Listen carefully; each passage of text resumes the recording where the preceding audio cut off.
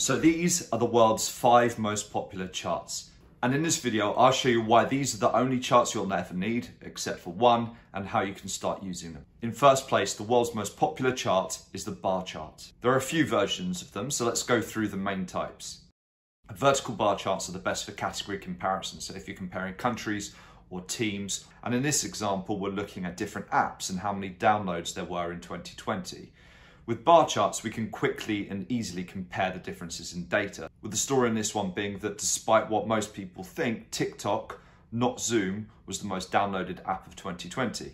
But vertical bar charts lose that quick comparability when there's lots of different categories, so try and only use them if there's less than seven categories. However, if you absolutely must have between 7 and 15 different data points, flip your vertical bar chart on its side and you have a horizontal bar chart. Really though, these are best when you want to communicate rankings, so things like election results. Like this chart about the London mayoral elections that shows the candidates ranked by votes. They're also great for showing things like performance stats, like sales performance, or this example here, which shows Oscar nomination performance.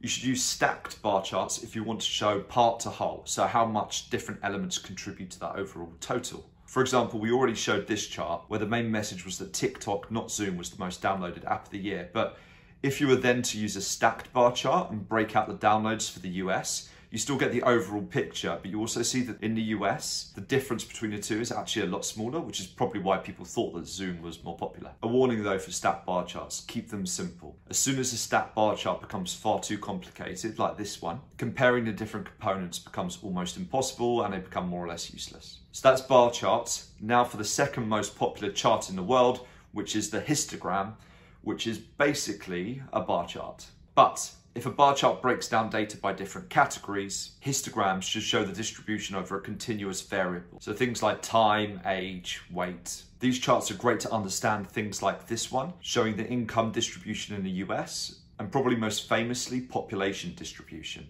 Like this one showing data for the US, where age is on the y-axis and population on the x-axis, it's split by male and female. And histograms are generally less about the individual data points and more about the broader pattern that it shows. So if we quickly change this and look at data for Nigeria, you can immediately see from the pattern that Nigeria has a much younger population. And taking bronze, the world's third most popular chart is the pie chart. Okay, let's talk about pie charts. Pie charts are hated by data visualization experts the world over, mainly because they're really bad at showing multiple data points like this one fail. But also our brains aren't really very good at comparing things like areas and angles. And here's a challenge for you. So look at this chart here and quickly work out which was the third most downloaded app. Three, two, one, time's up. Okay, now look at this one, which is showing exactly the same data and tell me now which is the third most downloaded app. Three, two, one. Bar charts are just much better than pie charts at communicating data. But if you absolutely must use one, follow these tips. Firstly, never use more than five data points. Then rank the values in order where the biggest segment begins in the top right hand corner. Then make sure you put all labels next to the segments, which means you can also remove the key. And then use colors to help you communicate what you want to point out. In fourth place, we have scatter plots. Now, if you're looking to show correlation or how two things relate to each other, then scatter plots are your best mate.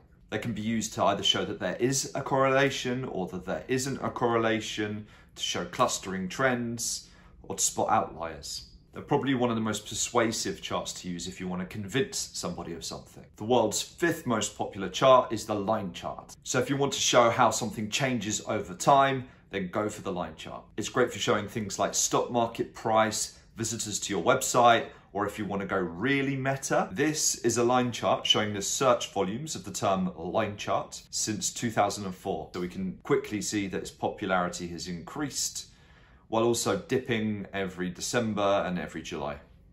So these are the world's five most popular charts. It's not to say there aren't other charts that you can use, but unless you're a data viz master, stick with these and spend that extra time focusing on how to communicate these charts better. The best way to do this is to use the data to ink ratio, which you can learn in less than five minutes by clicking on the link on your screen. The data to ink ratio is one of the simplest and most effective things to keep in mind when you want to create more persuasive charts, graphs, and data visualization. So click on the link on your screen to find out how you can start using it right now.